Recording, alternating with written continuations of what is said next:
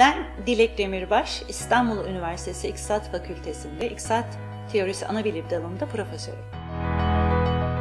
Birincisi çok çok ilginç bir konu. Bunu sadece ben söylemiyorum. İktisadın en ünlü iktisatçılarından biri olan Paul Samuelson da söylüyor. Paul Samuelson 1970 Nobel İktisat Ödülü sahibi, 1915 e, doğumlu ve iktisadın en büyüklerinden biridir. Ona göre iktisat bütün sosyal bilimlerin kraliçesidir. Neden kraliçesidir? Çünkü uyguladığı metodolojisinde bir eşsizlik vardır. Eşsiz ve bütün diğer sosyal bilimlere bir üstünlük sağlar. Peki bu üstünlük nereden kaynaklanıyor? Çünkü uyguladığı ve metodolojisindeki eşsizlik diğer tüm bilimlerden, sosyal bilimlerden destek almasından kaynaklanıyor. Psikolojiden sosyolojiye, matematikten felsefeye, tarihten ekonometriye kadar sayısız pek çok konudan sosyal bilimlerden destek alıyor. İktisadın günlük hayattaki yeri aslında sayısı sayılmayacak kadar çoktur. Bunlardan en önemlisi karar alma sürecini çok olumlu, çok etkin bir şekilde kullanmamıza da sebep olur. Çünkü karar alma süreci çok önemli bir olaydır. Sizler de bilirsiniz ki günlük hayatta bir insanın yaklaşık olarak 60 bin tane düşünce geçer kafasından ve birçok sayısız miktarda da kararlar vermek durumunda kalır. Mesela sinemaya mı gideyim, arkadaşlarımla mı görüşeyim, e, uyuyayım mı, yemek mi yiyeyim yoksa e, bir gazete okuyayım? O kadar çok karar vermek zorunda olduğumuz olaylar vardır ki bir gün içinde. Bir iktisatçı olarak e, bu süreci doğru yönetmeyi öğrendiğinizde daha akıllı, daha etkin, daha rasyonel kararlar vermeye başlayacaksınız. Arkadaşlar biliyorsunuz ki, hepimiz bunu çok iyi biliyoruz ki, bilgiye ulaşmak günümüzde çok kolay. Ama bilgi sadece tek başına yeterli değil.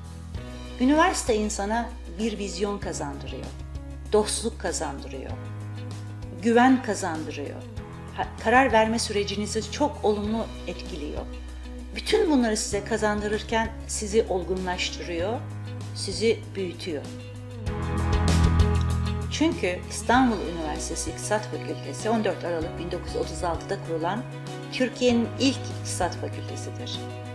Ee, ana kampüs olarak e, İstanbul'un en güzel yeri olan Tarihi Yarımada'da bulunmaktadır. Bu da zaten kampüsümüzü eşsiz kılan özelliklerden bir tanesidir. Yanımızda Süleymaniye Camisi, e, Beyazıt Camisi, pek çok müzeleri, pek çok ilginç yerleriyle Kapalı Çarşısı en başta e, eşsiz bir özelliğe sahiptir.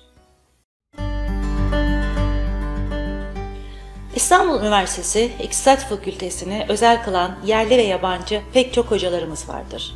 Yabancılar arasında özellikle 2. Dünya Savaşı'ndan sonra Türkiye'ye gelip fakültemizde hocalık yapmış olan Alexander Rustov, Fritz Newmark, Umberto Ricci'yi sayabilirim.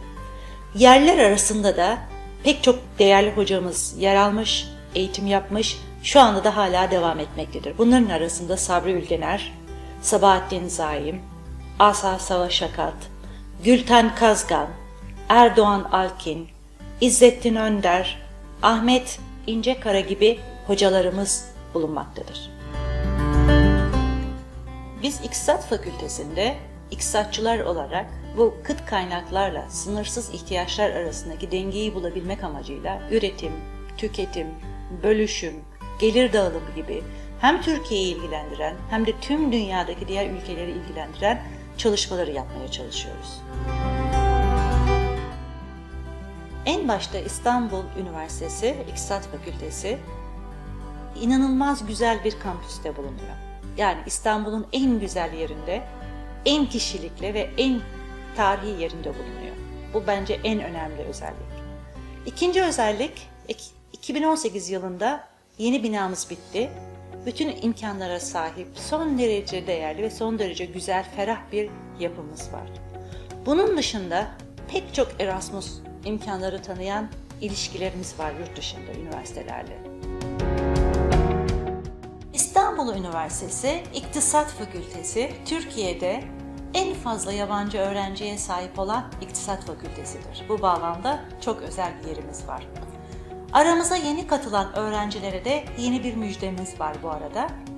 Bizler ikinci dil olarak Çince, Rusça, Arapça, Fransızca, Almanca, İspanyolca gibi dilleri de öğrencilerimize ikinci dil olarak veriyoruz. Bu da bizim gurur duyduğumuz son zamanlarda en e, hoşumuza giden işlerden bir tanesi. E, bunun dışında arkadaşlar tüm de bölümlerimizde hazırlık sınıfı e, da e, İngilizce dersleri veriliyor.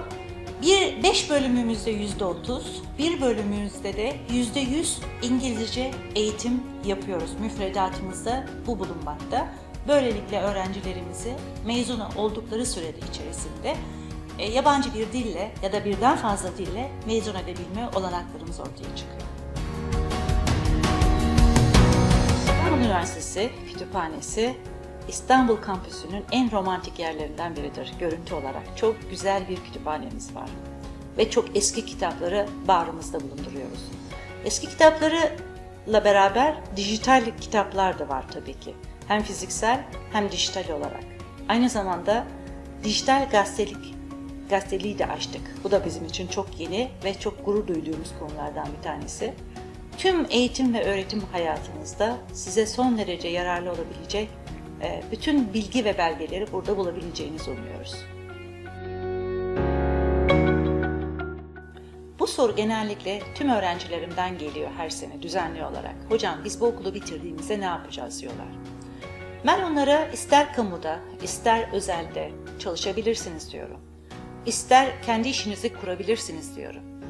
İmkanlar çok sonsuz. Fakat burada önemli olan çok sayıda iktisatçının değil, çok iyi iktisatçının ortaya çıkması. Çünkü e, verilecek kararlar ister kamuda, ister özelde doğru ve rasyonel kararlar olmalı. E, bilgileri özümsemiş, bilgileri anlamış, olayları kavramış bir gencin, bir iktisat mezununun vereceği kararlar ister kamuda olsun, ister özelde olsun, ister de kendi işini yapsın. O kadar önemli ve o kadar değerli ki şu günümüzde tahmin bile edemezsiniz. E, fakültemizin şemsiyesi altında sayısız araştırma merkezlerimiz var. Bu merkezlerde pek çok güncel, e, bizi ilgilendiren, iktisatçıların sorması gereken, görüşlerini bildirmesi gereken konular ele alınıyor. E, bunlardan en önemlisi mesela bir örnek vermek gerekirse son günlerde 24 akademisyenin bir araya gelmesiyle COVID-19 üzerine bir rapor çıkarttık. Ve bu şu an itibariyle pek çok perspektiften konuyu ele alan oldukça detaylı bir çalışma oldu. Arkadaşlar kuruluşundan beri İstanbul Üniversitesi İktisat Fakültesi'nin amblemi karıncadır. Karınca çalışkanlığı, ileri görüşlülüğü temsil eder. Bizler iktisatçılar çalışkanızdır çünkü e, sürekli olarak daha iyi, daha güzeli yapmak için çalışırız. Bu yüzden yuvanıza sizi bekliyoruz. Hadi gelin burada buluşalım, birlikte nice güzel çalışmalar yapalım.